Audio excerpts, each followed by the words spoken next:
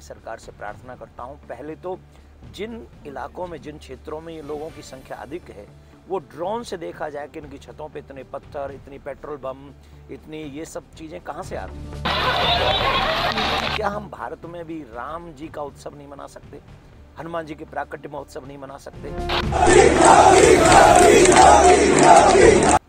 हनुमान जी के प्राकट्य महोत्सव पर नंगी तलवार लेकर पत्थरबाजी करते हुए वही डरे हुए लोग मोदी जी के और योगी जी के राज्य में आ, ऐसा हाल है। अगर मोदी जी और योगी जी का हाल नहीं होता और अगर ये डरे नहीं होते तो 2022 में भारत की छवि क्या होती?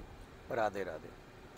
सभी भारतीयों को एक बार पुनः सोचना पड़ेगा कि हम लोग भारत में आज़ाद देश में रह रहे हैं। दो मुल्क हुए थे एक पाकिस्तान और एक हिंदुस्तान।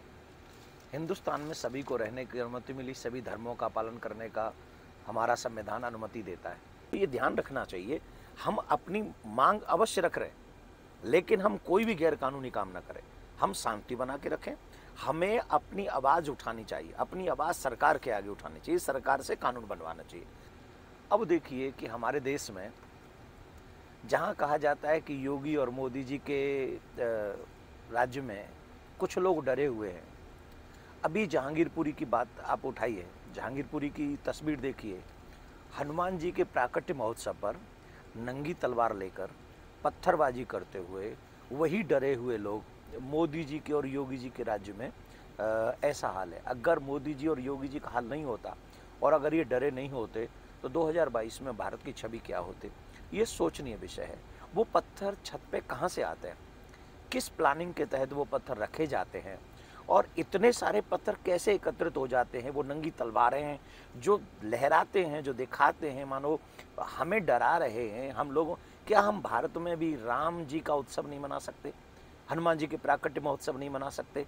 मैं भारत की सरकार से प्रार्थना करता हूँ। पहले तो जिन इलाकों में, जिन क्षेत्रों में ये लोगों की संख्या अधिक है वो ड्रोन से देखा जाए कि इनकी छतों पे इतने पत्थर, इतनी पेट्रोल बम, इतनी ये सब चीज़ें कहाँ से आती हैं? और किस योजना, उस योजना का पता लगवाया जाए कि कि प्लानिंग क्या है? किस प्लानिंग के लिए ये सब किया जा रहा है? दूसरा, मैं भारत सरकार से प्रार्थना करूँगा, जो हमारे उत्सवों को इस तरीके से उसमें विघ्न डालने की कोशिश की जा रही है, ये एक षड्यंत्र है। इस षड्यंत्र के अगेंस्ट हमें एक ऐसा कानून बनाना पड़ेगा कि कोई भी व्यक्ति अगर हमारे उत्सवों में विघ्न डालता है तो उसे कठोर से कठोर सजा मिलनी चाहिए। एक मैसेज सभी भारतीयों के लिए है। आज हम और आप सेकुलर बन रहे हैं। होना भी चाहिए। हमारा शास्त्र भी कहते हैं, सर्वे भवन तो सुखी सब सुखी रहें। लेकिन हमारे भगवान ने भी तो महाभारत का युद्ध करवाया था। किस लिए करवाया था? धर्म की रक्षा के लिए, देश की रक्षा के लिए, आतताइयों को मिटाने के लिए। मैं आप सबसे आग्रह करूँगा, अभी भी वक्त है। जाग जाओ। ज़्यादा सेकुलर ताकि टोपी मत पहनो। अदरवाइज़ ना टोपी रहेगी, ना पहनने वाले रहेंगे। आप सबसे निवेदन है, जाग जाओ। जय हिंद, जय भारत।